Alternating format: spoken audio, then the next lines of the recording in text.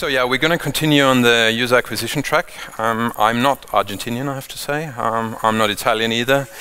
I am German, but I do have an, an Australian passport if that helps you guys. Um, so basically, we're talking specifically about how you can actually use Facebook for mobile acquisition. Um, first of all, let me just give you a very brief background on who we are and what we do, um, because in Germany here we are still pretty new. So we're an American company called AdKnowledge, um, and I'll explain the AdParlor bit in a moment.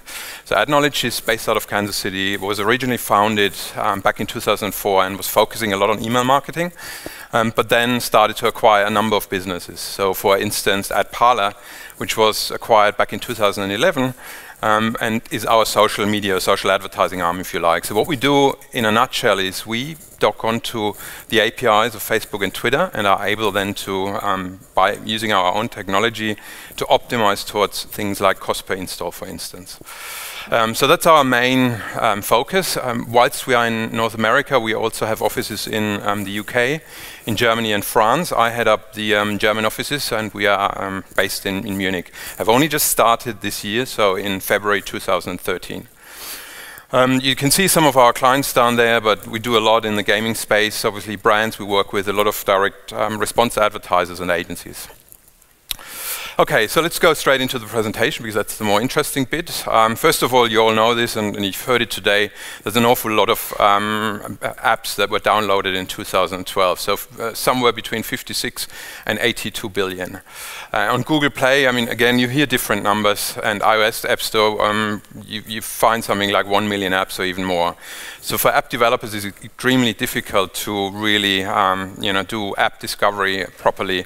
And also loyalty has become a big issue because some people might download your app, but if they're not using it, what's the point of this? So we're not saying Facebook is the only option you've got, but it's certainly a very interesting one because it's new. They've only just last year started to get into mobile um, seriously. Um, so within 12 months, you can see figures like that. So 145 million app installs on Facebook and 8,200 advertisers. A lot of people and app developers don't use it yet, but they're getting more and more into it because they see the positive results. Um, these are some figures on um, the success of Facebook in Germany specifically. Um, that's uh, mobile as well as desktop. But you can see, you can see, in total they've got already 25 million users. That's about 43% of the internet population. And 18 million of those would access Facebook through, um, through mobile. And they have also very high engagement rates. So one of the things since I've started working with Facebook much closer, I've been pondering about was how were they able to be so successful in their space? I mean, if you look at it, they've got 1.2 billion users globally now. On top of that, they've got engagement rates that a lot of publishers would only dream of. So what I would like to do is, wearing my psychologist hat, is share some insights with you as to why that's been happening, because I think it's interesting for you to understand. Um, so first of all, let me ask the audience, uh, what do you think chocolate and Facebook have in common? Any, any votes? Yes, that's exactly it. Absolutely.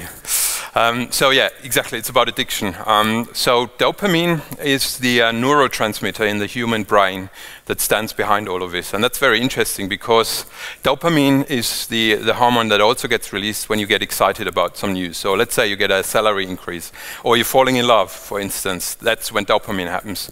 So when you're seeing these people um, you know, running around with ice creams very happily, they're going from one roller coaster to another, usually there's dopamine at, at play. That's what happens.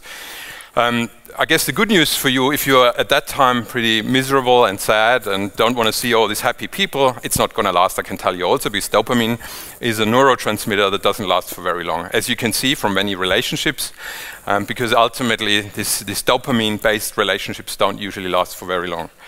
So how, what does that have to do with Facebook? Um, so essentially, when you go to Facebook, or let's say you are on a holiday somewhere, say in Thailand, um, standing at some beautiful beach, and um, you see the sunset. So you take a picture. What do you do first? You post it on Facebook. So then you leave Facebook, you go somewhere else. Five minutes later, what do you think you're doing straight after this? Exactly. You check your Facebook. You go straight back in because you want to know how many likes you got. Because that's exactly what triggers dopamine. So because it's a happiness hormone, right? So whenever um, you see a new like, and maybe it's 10, 20, 30 likes, all of a sudden you're much happier. Um, because especially when you're sad and maybe not in such a good mood, then you know that helps you even further. So certainly um, what Facebook has done in an in incredibly smart way is they've built in a lot of functionality that would release dopamine. Now, think about somebody sharing that photo. So that's even further than that, because not only did people like it, but they actually shared it with their friends, which is much, much, much of a bigger thing, right? Um, so you get even happier. Um, same thing with um, checking in at certain locations. So say you go to Bangkok airport and you're checking in. Again, a lot of people will like that because they think maybe you're a cool dude, you're a trendsetter, you're, um, you're flying around, etc., etc. So it says something about your image and, and how you are perceived in the community. So um, the other thing that's quite interesting, there's some stats that seven out of 10 people check Facebook before going to sleep. Um, I'm one of them, I have to say. So, and I think a lot of people in the room can relate to this. Uh, it is addictive. Um, but it's not just really um, Facebook, but it's also Twitter. Not as addictive as Facebook, but 20% say they don't go to sleep until they've checked their favorite celebs' tweets. Now this is um, pretty gross, but uh, a lot of people seem to do that too. So I could ask you to put up your hands, um, whether you fall into that group, but I'm not going to do this. Um, I mean, seriously, again, talking as a psychology, you should get some therapy if you're doing this, but anyway. Um, so, what does that mean for advertisers? So first of all, of course, if you think about the frame of mind that people are in, um, you can think about the kind of ads you would post. Now, it's quite interesting with Facebook. Um, I remember when I was still in Australia, a lot of people were telling me, oh, this Facebook thing is never going to take off. You know, they're never going to make any money. It's always the same discussion you have with people with any channel that happens. That was happening with mobile and all sorts of other stuff as well. And now look at these figures. Within a year, they've turned it around from now, you know, almost 16% of the mobile online advertising revenue globally is already um, coming through Facebook. So that's telling you a story, which means that it obviously is working for some people. As Mary Meeker stated in her um, annual Internet Trends report, mobile is helping to drive users and, and revenue for Facebook um, quite strongly. Now, almost 50% of the advertising revenue um, of Facebook is going through mobile. So again, that's telling a story that they obviously seem to be doing something right. Okay, so as an advertiser, how can you do it on Facebook? Um, now, first of all, it's important to understand the power of the news feed. Um, so remember maybe on the desktop before there was um, oh, it's still there, but they're not as prominent anymore. Um, the domain ads on the right-hand side, they didn't really work all that well. So Facebook has changed this. They're still using it. However, um, what they've shifted to is the um, newsfeed, which you see as you're scrolling through your friends' news. There's usually like some, some advertising in there. It can be pretty annoying for some people, but it also works because it blends in quite well with the rest of the organic content. And you see all the figures there. 40% of time spent is in newsfeed, over 180 billion um, impressions, etc etc., and much better engagement rates. Um, also, what they've done well is they've built some great um, native ad units. So photo page post ads, for instance. Um, if you compare that to a standard banner ad, which you see on the left-hand side, I think the, the, standard banner ad takes something like 7% of the green, uh, screen. And the newsfeed ad takes about 92%. Um, I'm actually surprised that it's only 38% more attention, but anyway, that's what it is. Um, also on the right-hand side, you see the mobile app install ads, and they're very relevant for you guys because this is essentially, as I think we're doing now something like between two and four million app installs um, every month, and these are the kind of ad units we would be using. So essentially, you, again, you see it in your newsfeed, maybe on your app, you click on it, and then it sees which what kind of device you've got, whether it's um, an iOS device or whether it's, for instance, a Samsung, and then it redirects you straight into the uh, mobile app store. And then what we do is we basically charge not just when a user downloads it, but when they go back into the app for the first time. Um, so, the other, so one thing is to keep in mind the ad formats and the creative. The other thing that's really important and great about Facebook is the data. And you all have heard about the social graph. It's incredible how much information they've got available. So there's demographic, which a lot of other people have as well. But on top of that, you get a lot of data on the mobile consumer. So, you know, what kind of devices they're using. Are they still using a feature phone? Um, are they smartphone users? Uh, what kind of device model are they actually using? You get a lot of interest targeting as well. Um, so stuff like, you know, um, what, what kind of um, things they like. So if you have a football app, for instance, then you know you could target people who like Ozil or Schweinsteiger or whatever else. So all this sort of information is available, and you, and you can go after it. And then the last bit is custom audience targeting. Just so I understand, who of you has heard and, and knows what custom audience targeting is?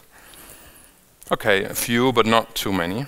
Um, let me just quickly run through that because it's a really interesting concept. Again, Facebook have been quite good at, uh, at adjusting or, or, implementing new technologies. And one of them is this um, interesting thing called custom audience targeting. The way it works is, let's say you've got an um, existing database of app users. And let's say you've got either the email address, maybe a phone number, maybe a Facebook user ID, or even an app ID if you've registered with Facebook SDK then what you could do is um, you could essentially upload those users um, into the Power Editor and you can do a match with the Facebook audience. Now, why would you do that? Well, there's three use cases. So that's what's called inclusion targeting, exclusion targeting, and lookalike targeting. With inclusion targeting, what you do is you essentially include your existing audience and you show them an ad. Why would you do that? Well, for instance, if you wanted to reactivate users who are not using the app anymore, you could show them an ad and ask them to come back. Or you could say, well, actually, I want to convert my existing users into fans on Facebook. Or you might do something like a member get member campaign or friendship campaign where you encourage existing users to share it with um, their own friends. So that's, that's one or three use cases for inclusion targeting. The second one is exclusion targeting. So you deliberately don't include your existing audience into this campaign. Why would you do that? Well, because they're already users. Um, since it's a prospecting campaign, you might want to exclude them because that means it's, it's going to lower your CPI.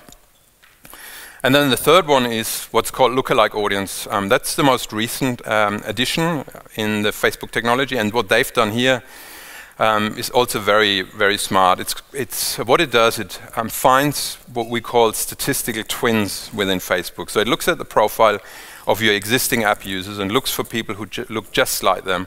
And you can imagine that that's pretty powerful because of all the social graph data, data that's available, um, you know, you can get a pretty good understanding of what kind of profile your users look at. By the way, you don't actually see the profile, so it's more like a black box.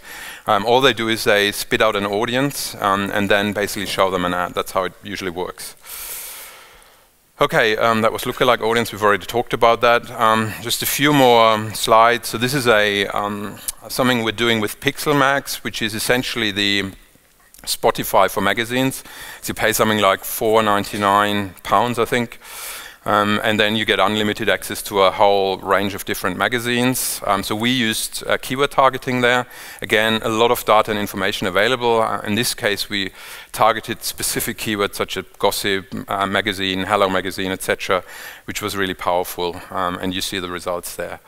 Uh, eBookers, uh, obviously big travel um, client, they also have an app. Um, recently Facebook introduced CPA bidding as of the 21st of October, so what we did essentially um, ran uh, an app install campaign for eBookers, and because we used CPA, that helped us a lot on top of the other stuff we did, um, and you can see some of the results which were really, um, really good as well. Um, the other thing is we've, we've developed a database now um, across all our campaigns globally to understand what kind of criteria do work well for specific campaigns, for specific verticals, for instance. And so we are able now to aggregate all this information and find some criteria that, that matter. Um, and so here um, we found out that, interestingly enough, across all our campaigns, uh, CPI campaigns, the cost per install campaigns that is, Thursdays and Sundays seem to be working best. I have no idea why that is, but it just seems to be the case. So there you go. Um, Android versus iOS, we've got actually, so, so what's important to understand is um, for iOS, uh, there's more competition on Facebook. So typically you pay a higher CPC. Um, so what we find is that the CPI still backs out better for, for Android campaigns um, because the competition is lower, but the conversion rates are actually not as high as on, on iOS campaigns. Um, measurement, I mean, we've heard some stuff before. I don't have to uh, add an awful lot to it, but basically it can be good to have the Facebook SDK installed. You don't necessarily have to do it. We can also work with a lot of the third-party guys, um, like you know, HasOffers, Adeven, etc. All of them have been mentioned. Um, what's important is if you want to go beyond install, um, then obviously those third-party tracking um, tools are very important because what they can do is they can deliver back the information to us, whether these guys had any in-app events uh, happening or whether they were monetizing as users.